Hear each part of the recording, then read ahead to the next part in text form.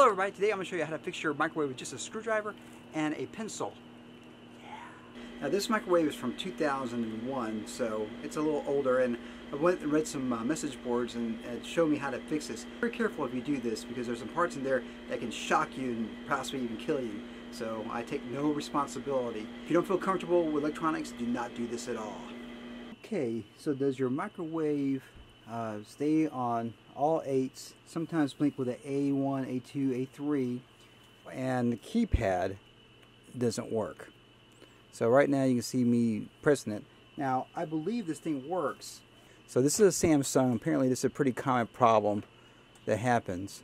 And you see it's, it's running. So I think I can fix it. So the things you're going to need, screwdriver, some kind of a pencil eraser. It didn't appear to be a lot of screws on here, so I don't. Hopefully, I haven't got too many screws to get to the, the pad back here.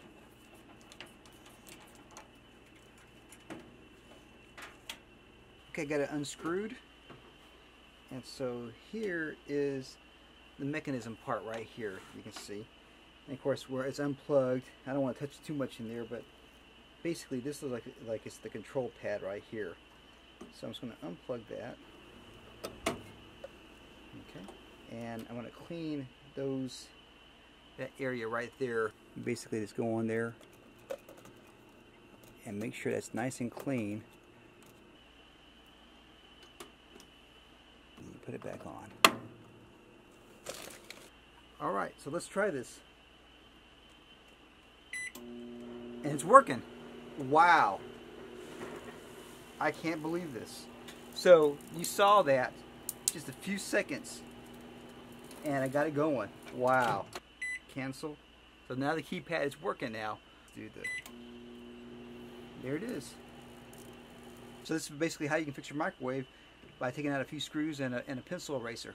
So wow. I am going to show you this. It had this weird hexadecimal screw. I, I didn't have it, so I just forced it out with uh, some uh, pliers and whatnot, so and a, and a screwdriver. So it's not going to be pretty to put it back on, but once I screw it back on, I think it's going to be fine. I didn't need to do the other side. I just did this side here.